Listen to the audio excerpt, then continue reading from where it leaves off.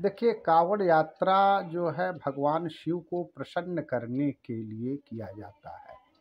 लोग तीर्थों से जल ले करके गंगा जी से या हरिद्वार से जल ले करके सरोवर से जल ले करके यात्रा करते हैं और जाते हैं, भगवान शिव के ऊपर जलाभिषेक करते हैं। सबसे बड़ी बात है कि सावन में जलाभिषेक करने से जल की वृष्टि होती है। एक तो ये बात है दूसरी बात, जलाभिषेक करने से मनुष्य के संपूर्ण पाप और ताप नष्ट हो जाते हैं। जलाभिषेक के संदर्भ में ऐसा कहा जाता है कि एक बार भगवान शिव ने जब समुद्र मंथन के समय जब विष को ग्रहण कर लिया तो उनको जलन होने लगी गले में।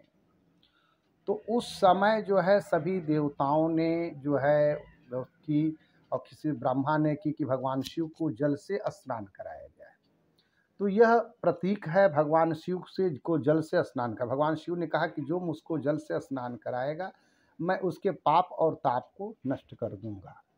तो इसीलिए भगवान जो है, सबसे पहले जो है, महाराज रावण ने कांवड़ यात्रा की शुरुआत की और उन्होंने पहले कांवड़ यात्री महाराज रावण हुए। जब भगवान शिव ने विष को ग्रहण कर लिया, समुद्र मंथन के बाद जब ज्वाला शांत नहीं हुई तो बागपत के पास एक शिव मंदिर है, पूरा पूरा के महादेव। पूरा के महादेव हैं, उन्हीं महादेव की को जलाभिषेक किया था महाराज रावण ने।